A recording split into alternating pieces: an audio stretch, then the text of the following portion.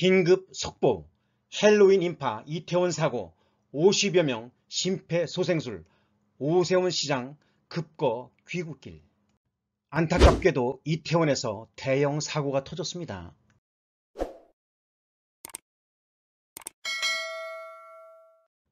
29일 오후 서울 용산구 이태원동 일대에 헬로윈 인파가 몰리면서 수십 명이 넘어지면서 깔리는 사고가 발생했으며 이날 오후 11시 30분 현재 이태원 중심에 있는 해밀턴 호텔 인근에서는 수십 명이 인파에 깔리면서 심정지 상태에 빠져 도로에서 심폐소생술을 받고 있으며 심정지 상태인 환자는 현재 약 50여 명으로 알려졌습니다. 소방당국은 현재까지 호흡 곤란 등으로 인한 구조신고가 81건 접수됐다고 전했으며 소방당국은 이날 오후 11시 50분 대응 3단계를 발령하고 구조 인력을 대거 투입하고 있습니다.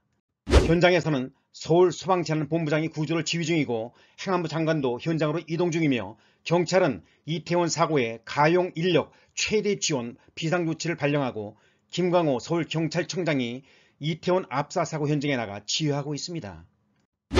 이태원 일대에서는 헬로윈을 앞둔 주말인 이날 밤 곳곳에서 파티가 벌어졌으며 경찰에 따르면 이날 이태원에는 약 10만여 명의 인파가 몰렸다고 합니다. 유럽연합 4개국을 순방 중인 오세훈 서울시장이 급거 귀국을 결정했습니다. 29일 16시 35분 현지 시간 네덜란드 루테르담시 보이만스 반 베닝겐 미술관에서 현장을 시찰 중이던 오 시장은 최태영 소방재난본부장으로부터 서울 용산구 이태원로에서 대규모 압사 사고가 발생했다는 보고를 받고 즉시 귀국을 결정했습니다. 그는 이날 16시 20분 현지 시간 미술관 5층 컨벤션 홀에서 이태원 사고 현황을 유선으로 보고를 받자마자 일정을 전면 중단하고 숙소인 로테르담 메리오트 호텔로 이동했습니다.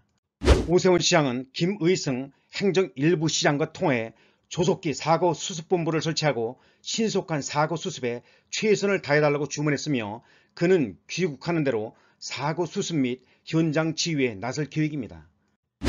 윤석열 대통령이 29일 서울 이태원 헬로윈 행사에서 발생한 대규모 부상사고와 관련 행정안전부 장관을 중심으로 모든 관계부처 및 기관에서는 피해 시민들에 대한 신속한 구급 및 치료가 이루어질 수 있도록 만전을 기하라고 지시했습니다.